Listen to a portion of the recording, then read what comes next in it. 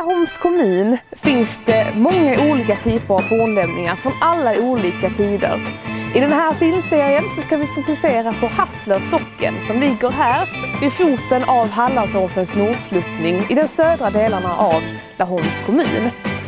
En av de mer kända fornlämningarna i området är Lugnarohögen.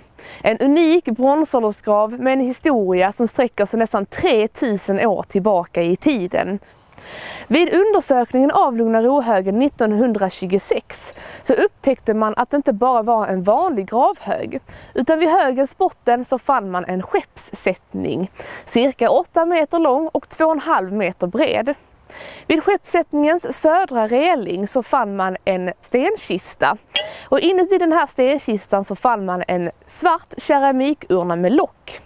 Inuti denna urna så fann man brända benbitar, tre bronsföremål och eh, textilrester. Benen inuti denna urna har förmodligen tillhört en ung kvinna, cirka 20 till 25 år gammal. Utanför urnan, men fortfarande i den här stenkistan, så fann man också brända benbitar som förmodligen har tillhört en ganska kraftigt byggd ung man.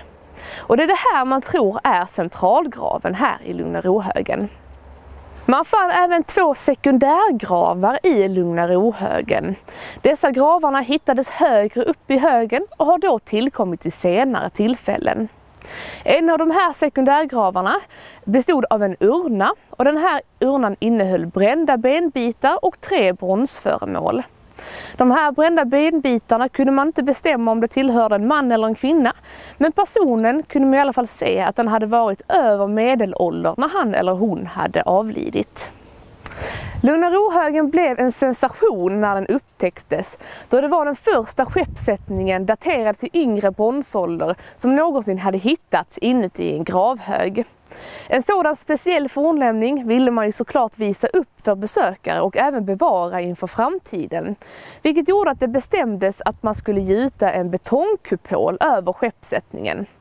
Denna betongkupol gör att vi än idag kan beskåda graven inifrån.